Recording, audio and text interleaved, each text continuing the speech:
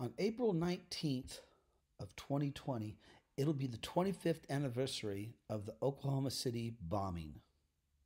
I have taken hundreds of students to the memorial on field trips. And on one of my trips, probably about almost 15 years ago, I purchased this coffee cup and I was using it this morning and I thought I would incorporate it into this video. And as you see the coffee going down, you see an image that becomes the symbol for the memorial.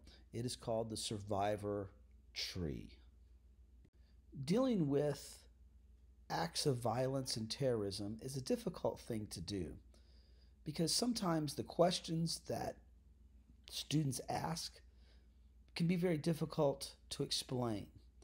And, and, what I mean by that is sometimes the easiest questions, the most simple questions, well, those can be very difficult to try to answer in a very short amount of time.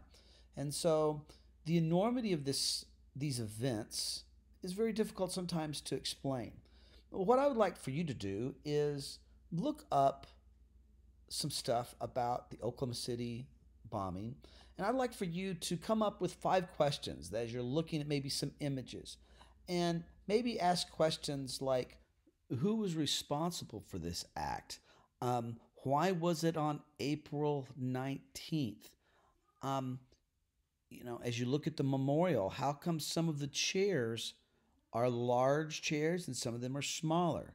Um, you might want to look at some of the um, uh, parts of the memorial itself.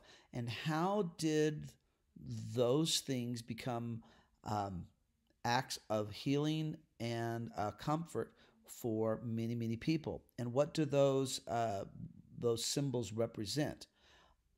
So, okay, I look forward to reading your uh, five questions and your answers. And if you have any questions or comments, uh, you know how to get a hold of me.